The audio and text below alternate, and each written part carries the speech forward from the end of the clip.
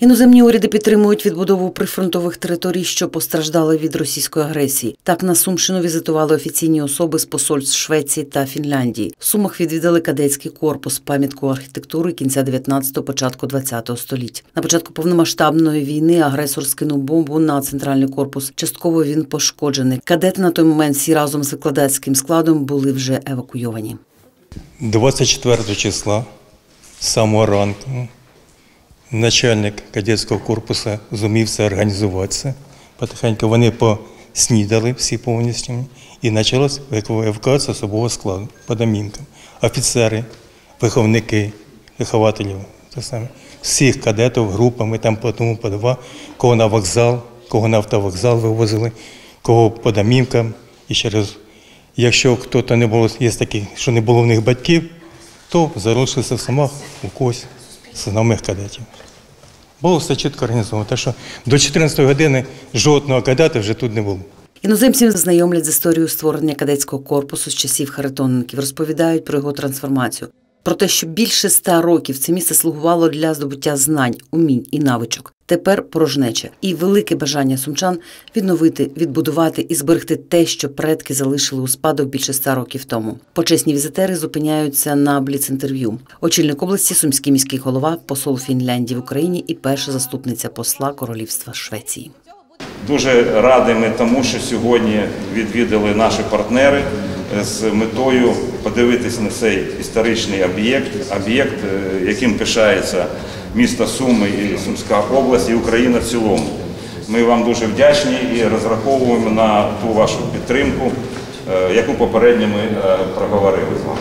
Ні, громада міста Сума, Суми має бажання відновити історичну справедливість, е, зберегти наші традиції. Ми розуміємо, які тут пошкодження, ми розуміємо, які якої потужності. І це е, за це ми хочемо подякувати за співпрацю саме і громадської організації і фонду за те, що ми вже деякі кроки е, в спільній роботі зробили.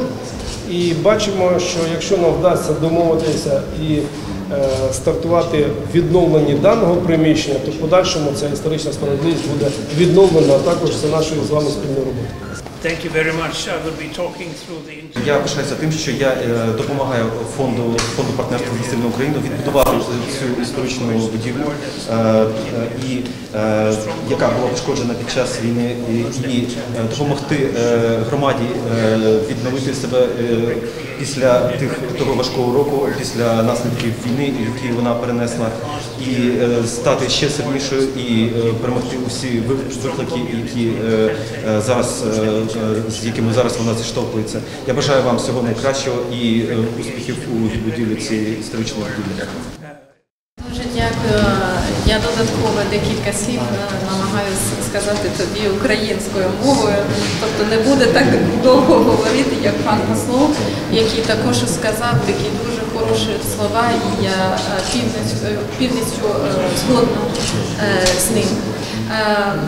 Дуже дякую за запрошення, ваш регіон, е, ваше місто. Я думаю, для нас важливо бачити саме е, результат е, агресії проти України. Ми бачили, як це систематично, е, як е, Росія атакує культурні об'єкти, як цей об'єкт, наприклад, і е, тим часом атакує вашу історію, вашу ідентичність і вашу культуру.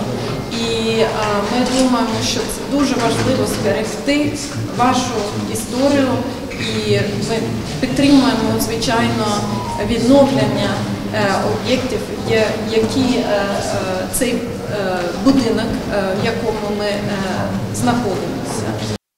Іноземні посадовці обговорили складнощі, через які проходять прифронтові міста, їх потреби у відновленні відбудові. Міжнародні партнери підтримуватимуть визволені території надалі, щоб допомогти громадам повернутися до нормального життя.